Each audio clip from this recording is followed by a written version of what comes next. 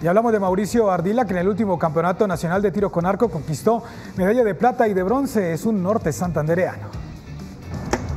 Las medallas las ganó el atleta rojinegro en la clasificación y en la ronda olímpica. Para haber sido mi primera competencia, me siento muy orgulloso de mi rendimiento, siento que desempeñé lo que, para lo que practiqué que es segundo por dos puntos exactamente y de tercero en tiro olímpico.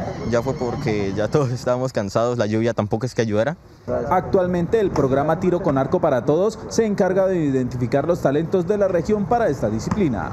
Realmente este deporte pues ha sido muy aceptado y, y es algo que llama la atención y es algo que tenemos que aprovechar ahorita para poder lograr una masificación en todo el departamento y pues poder generar nuestra selección departamental.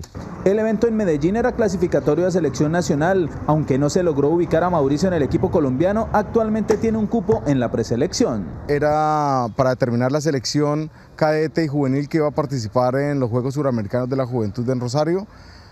Eh, desafortunadamente solo podía asistir uno, el primero. Eh, Mauricio quedó de dos, del segundo lugar.